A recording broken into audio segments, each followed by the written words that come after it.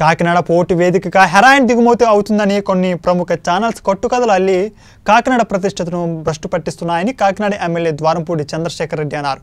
Heroin కేవలం మచిలీపట్నం కేంద్రంగా మాత్రమే జరుగుతుందని స్పష్టం చేశారు. కొంతమంది ప్రోద్బలంతో కొన్ని మీడియా ఛానల్స్ పోర్ట్ యజమానులను బెదిరించి డబ్బులు డిమాండ్ చేస్తున్నాయని ఆగ్రహం వ్యక్తం చేశారు. కాకినాడలో హెరాయిన్ దిగుమతి అయితే నిజ నిర్ధారణతో ముందు పెట్టాలని హెచ్చరించారు. అంతేకాని తప్పుడు ఆరోపణలతో ఆదిడి సృష్టించడం తగదన్నారు. జనరల్ ఆసుపత్రిలో ఒక క్యాథరాపు ఒక కొత్త ఎంఆర్ఐ రెండు కూడా పెట్టడం జరిగింది. అలాగే జగన్మోహన్ రెడ్డి గారు పద్నాలుగు వేల మంది డాక్టర్స్ని నోటిఫికేషన్ ఇవ్వడం జరుగుతుంది. త్వరలోనే అపాయింట్మెంట్ చేయమన్నారు. కాకినాడలో కూడా ఒక కార్డియాలజిస్ట్ని కార్డియాథరిక్ సర్జన్ని కూడా తీసుకొచ్చి కాకినాడలో క్యాథలాబ్ కూడా పెడుతున్నాం కాబట్టి గుండెకి సంబంధించిన వ్యాధులు కూడా కాకినాడ పట్టణంలో బాగా ప్రెసిడెంట్ వచ్చినటువంటి మీడియా మిత్రులందరికీ కూడా ప్రత్యేకమైన నమస్కారాలు తెలియజేసుకుంటూ ఈరోజు ఈ మధ్యకాలంలో చాలామంది ప్రెస్ మీట్లు పెడుతున్నా కూడా నేను స్పందించట్లే.